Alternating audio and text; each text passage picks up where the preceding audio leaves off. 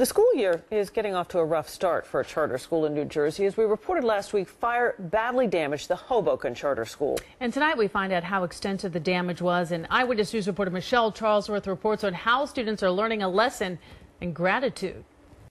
On Thursday, more than 200 kids and teachers got out of here as smoke and flames filled hallways. They were all out and safe in less than a minute. Then, within a couple of hours, the K 8 charter school they fought to build for two years was gone.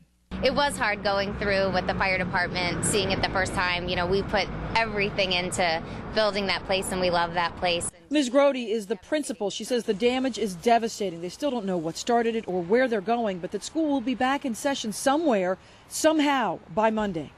So even though they don't have an actual building right now, the charter school is meeting. The teachers and the parents and the kids are all getting together to park, making thank you cards for the firefighters.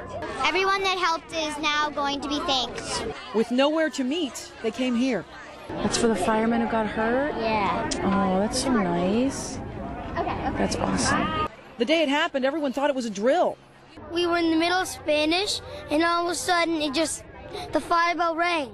And do they realize the damage? It's really beat up. Like once we like walked past the street by it, there was like cardboard on the windows on the second floor. In part because they're a service learning school, they're channeling their energy into gratitude.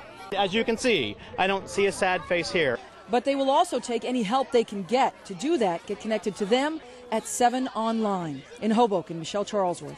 Channel 7 Eyewitness News.